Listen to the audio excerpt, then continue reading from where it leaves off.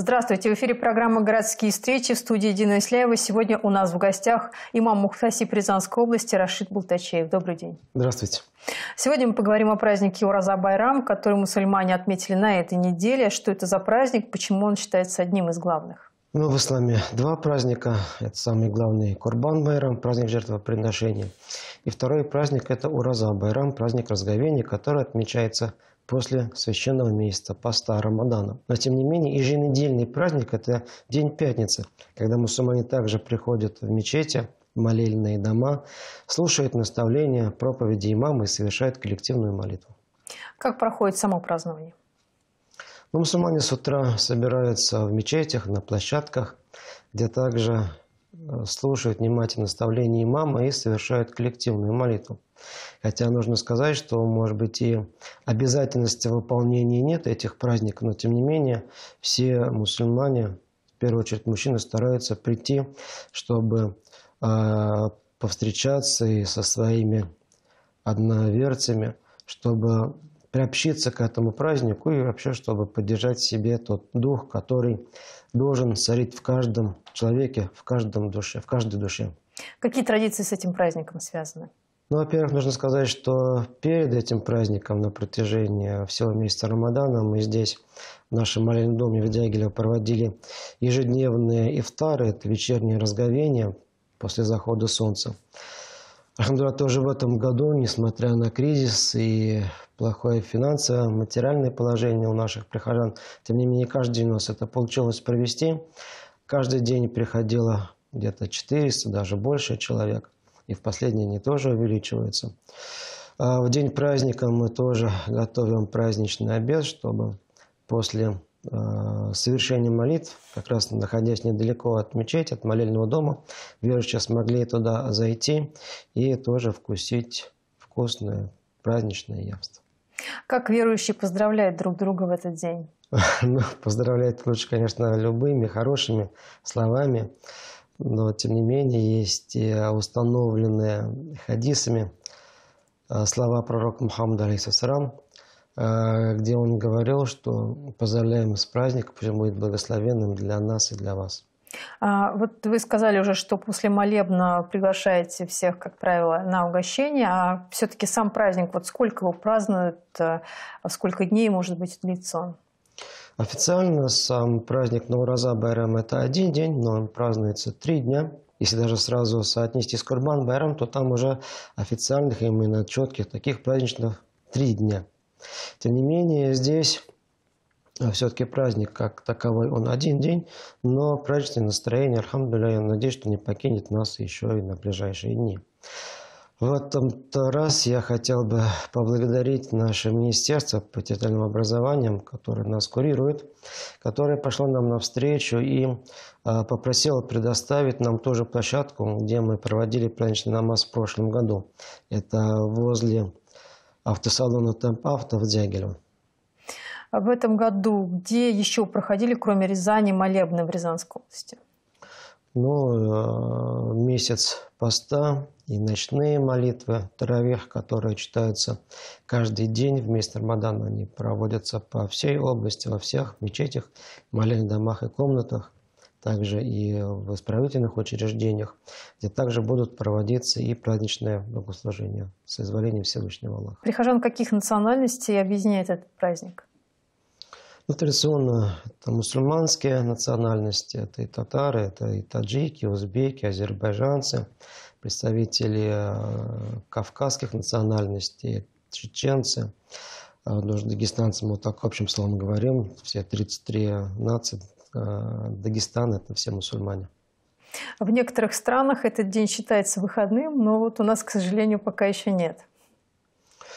Да, в некоторых э, наших региональных республиках тоже отмечается, если не ошибаюсь, и в Чечне, в Татарстане, в Башкортостане.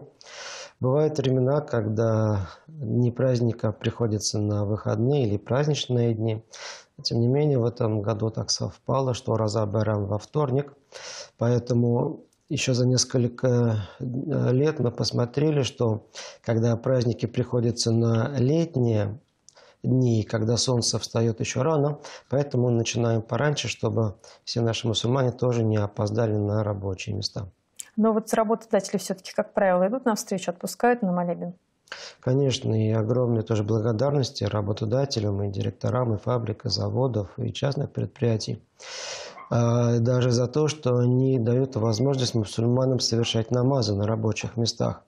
Ведь э, любой нормальный человек понимает, что если человек молится Богу, то он и не обманет, и не украдет, и не сделает какие-то оплошности в своей работе. А когда у него будет еще и душа спокойна, то он еще с большей уверенностью, с большим сосредоточением будет выполнять свою работу, которую он должен делать. Какие планы у Мухтасибата по развитию на ближайшее время, на этот, на следующий год? Да, нужно сказать, что с 8 марта у нас по пятницам, когда вот 8 э, марта был праздничный день, уже наши молельные территории, это молельный дом в Дягеру, молельная комната на Пугачева, уже не вмещают всех желающих прийти. Они уже стоят на улице, и мы начала готовим письмо, чтобы выйти с обращением на главу администрации города Рязани, губернатора, с просьбой выделить нам площадку, землю для строительства официальной мечети в областном центре. Если говорить в целом об обеспеченности в регионе вот религиозными учреждениями, как складывается обстановка? Ну, если в маленьких э, городах, в районных центрах еще мы справляемся с количеством людей, то, конечно, Рязань уже совсем не справляется. Потому что два или три э, площадки – это совсем мало. Все-таки, наверное, самый обеспеченный в этом плане – это Касимовский район. Да, Касимовский район – это как э, наследница Касимовского ханства, где испокон веков и строились и мечети, и мадресе, мусульманские школы. Благо, что не все из них э, находятся э, в худшем положении.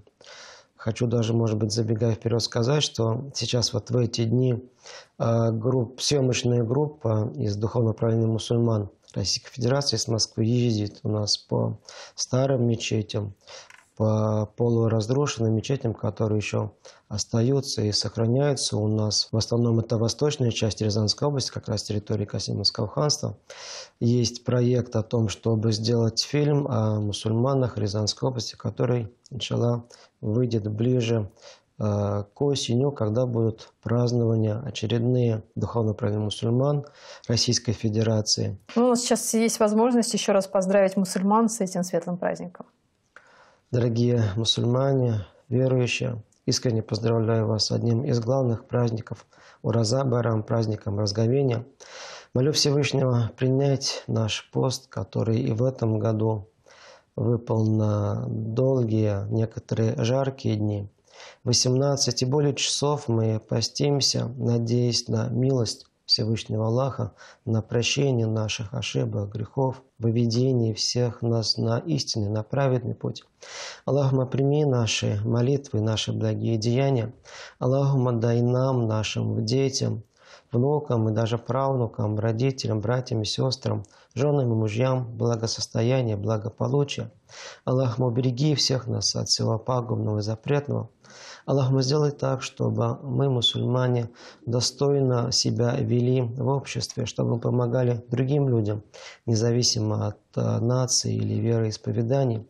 Аллах, сделай так, чтобы на нашей земле воцарился мир там, где его пока еще нет, и чтобы те военные годы, чтобы те наши тоже и деды, и прадеды, которые защищали и нашу страну э, в течение Великой Отечественной войны, не осталось бесследно, и над нашими головами всегда царил мир и безопасность. В гостях программы «Городские встречи» был имам Мухтасиб Рязанской области Рашид Бултачеев. Спасибо, что пришли. Спасибо большое вам и вам тоже, вашей компании. Процветания. Всех вам благ. Спасибо.